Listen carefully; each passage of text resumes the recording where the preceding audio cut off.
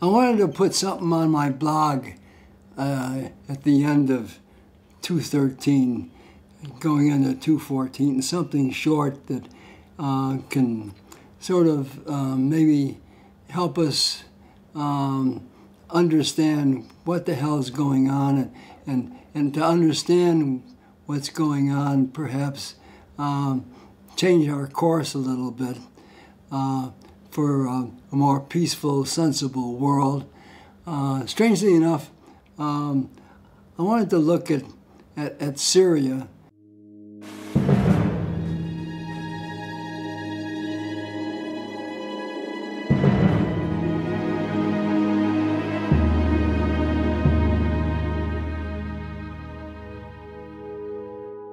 For two and a half years, the civil war has ravaged Syria. It's a human tragedy. It's, it's, it's genocidal in scope. Uh, at the last count, there were over 125,000 people killed, over 11,000 children.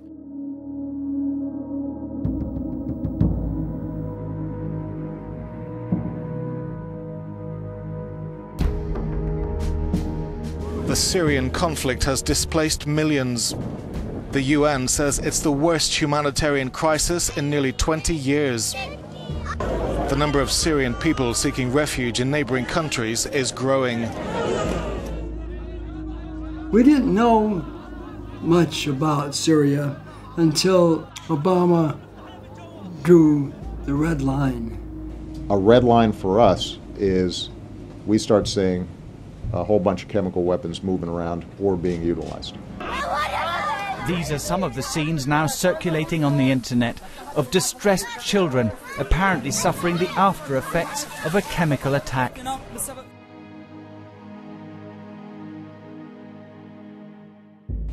Uh, it concerns us. Uh, we cannot have a situation where chemical or biological weapons are falling into the hands of the wrong people. For the last several days, President Obama and his entire national security team have been reviewing the situation in Syria as we consider our response uh, to the use of chemical weapons. This is a special report. We are learning U.S. forces could soon be headed to the Syrian border. Military commanders are now awaiting orders from the president. At this point, the machinery for justifying military incursion was in full swing. You've seen the uh, video proof of the outcome of those attacks. All of that leads to, as I say, a quite strong common sense test, irrespective of the intelligence. Our government was giving us the usual reasons. Make no mistake, President Obama believes there must be accountability for those who would use the world's most heinous weapons against the world's most vulnerable people. This international norm cannot be violated without consequences. When uh, countries break international norms on weapons like chemical weapons that could threaten us, that they are held accountable. The president is arguing that those chemical weapons pose a threat to U.S. national security. That was the same basis that the Bush administration made, uh, argument that the Bush administration made back in 2003 before the invasion of Iraq. Weapons of mass destruction. Weapons of mass destruction. Delay in decision and inaction could lead to a massive and sudden horror. It simply makes no sense to wait any longer. Take action before it's too late. This is about the large scale, indiscriminate use of weapons that the civilized world long ago decided must never be used at all. Yes, poison gas is obscene, and so is white phosphorus, uh, so is cluster bombs, uh, so is indiscriminate bullets, so is drones destroying uh, families. Where do you draw the line? How does more bombing help people? Breaking news. The president has moved the nation one step closer to military action against Syria. Military intervention. Military strike. Possible attack on Syria. Military intervention in Syria. The president told the PBS NewsHour he wants to send Bashar al Assad a strong but measured message. American defense officials have confirmed that an aircraft carrier group is now on its way to the region. The nuclear powered USS Nimitz, carrying dozens of aircraft, is accompanied by five smaller warships armed with Tomahawk cruise missiles. The strike group's expected to team up with several ships already positioned in the Mediterranean off the Syrian coast. The combined fleet could pummel Damascus from a safe distance, dealing massive damage to the country.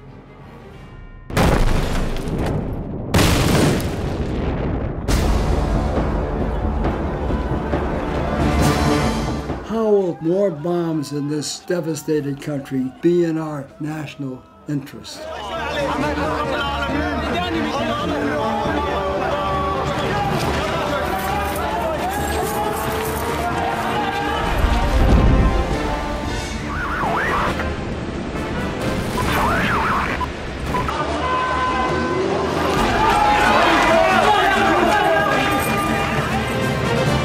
But then, uh, surprisingly, there surfaced a worldwide reticence to again go down the path of more killing, more endless war for peace.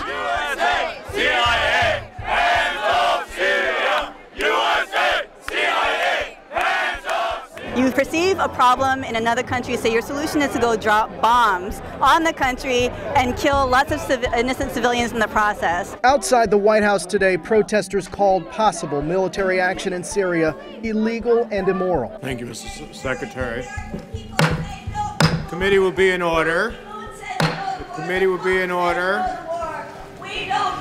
Ask the. We've got to follow the call of Dr. Martin Luther King, who said uh, it is a choice now for humanity between nonviolence and non-existence, and certainly the possibility of a glo- of a world war is is imminent if we go to war and bomb the people of Syria. He is he's talking preemptive strike, the same as Bush. I do not want any more war, uh, regardless of the situation. We are sick and tired of war. We do not want to get involved in the war in Syria. We do not want another war based in the Middle East based on lies. UN Secretary General Ban Ki moon wants the United States and its allies to wait for the inspector's report before a military strike. Now, Tamad, what's the latest from the administration on the president's decision making process? We know that the U.S. has uh, possibly urged the investigators to come back home, uh, perhaps paving the way for an airstrike. Yeah, it does seem that President Obama is not waiting for those UN investigators. It looks like the, the president will decide whatever he's going to decide without the without waiting for the UN, although uh, U.S. allies do want the president to hold off and wait. The president knows he has a tough sell ahead, not just in the U.S., but around the world. The British and the French are both saying, wait a minute, let's at least give the UN a chance. They're debating now in the Houses of Parliament. It's not clear the United Kingdom is going to back even the thought of attacking. So David Cameron might lose this vote. The ayes to the right, 272. The noes to the left, 285. Was a remarkable defeat for David Cameron and the British government. So it looks as though America, if it does want to go ahead, won't be backed up by this key ally. The president acknowledged that the burden to punish the Syrian regime has now fallen to the U.S. Uh, a lot of people think something should be done, but nobody wants to do it. Popular worldwide rejection to the idea allowed for putting the brakes on an immediate aggressive action. Obama decided that uh, he needed Congress to um, uh, to back him up, and Kerry carried the ball. And I, I can't say this strongly enough to all of you. I think, quite simply, common sense and human experience and reality tell us that the risk of not acting is greater than the risk of acting. The authorization that President Obama seeks is distinctly and clearly in our national interest, in our national security interest. Was the military action really the only option? Is there anything at this point that his government could do or offer that would stop an attack? Uh, sure, he could turn over every single bit of his chemical weapons to the international community in the next week. Turn it over, all of it, uh, without delay, and allow a full and total accounting for that. Uh, but he isn't about to do it, and it, it can't be done, obviously. A top story than so many twists and turns today. Syria has agreed to Russia's proposal that it put its chemical weapon stockpiles under international control.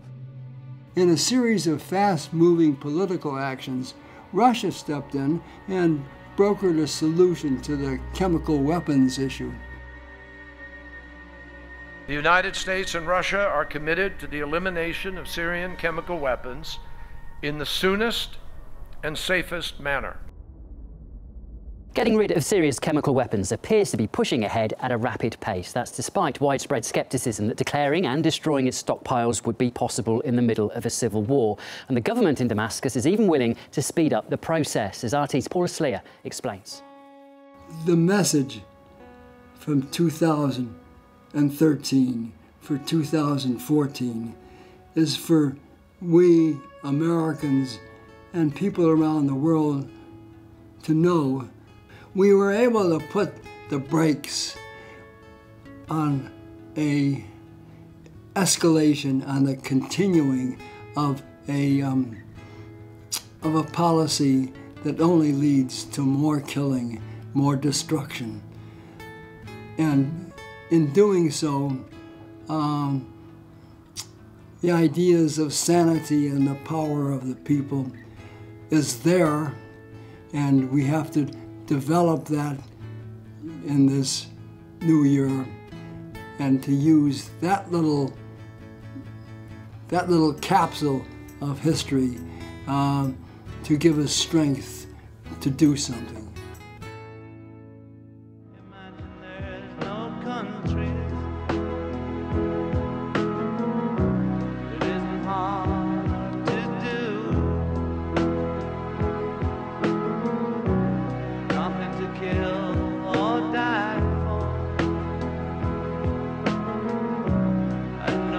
religion